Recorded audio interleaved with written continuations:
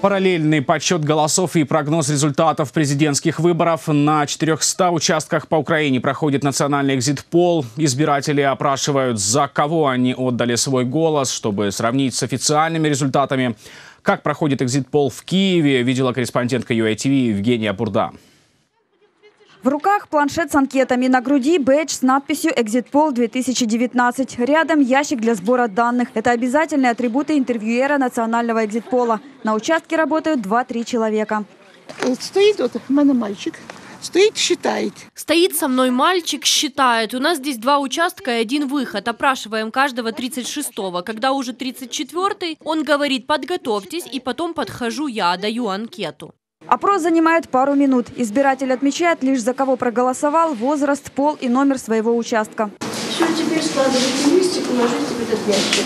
Ничего не видим, ничего не слышим. Анкеты анонимные, но некоторые отказываются ее заполнять. Александр не впервые участвует в экзит-поле и сравнивает данные социологов и Центр избиркома. Насколько вы доверяете? Экзит-полу? Тяжело сказать. Более-менее попадает. Более-менее. Отказы есть, не хотят. Не хотят, говорит, мы не хотим. Я говорю, а тут ничего же анонимно, тут все спокойно. Некоторые спешат, некоторые... Четыре отказа у нас уже было.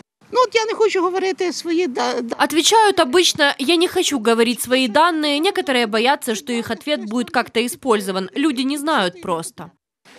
В Киеве экзит-пол проводят на шести избирательных участках. По всей Украине интервьюеры охватывают четыре сотни участков. Промежуточные данные передают по состоянию на 12, 15 и 18 часов.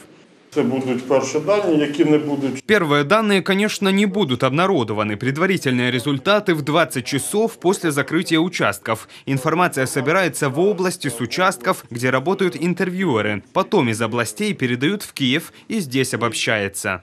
Данные из регионов операторы колл-центра принимают по телефону, отмечают в бланках и передают аналитикам. Вот я сейчас принимала од- одну, одну область.